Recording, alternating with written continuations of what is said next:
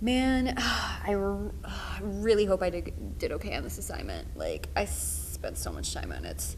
Really? Yeah. It didn't. It didn't take me that long. Really? Yeah, I mean, maybe I put a little. I mean, I might have put a little more work into it than I did, but I, I didn't. So I guess we'll see how that goes.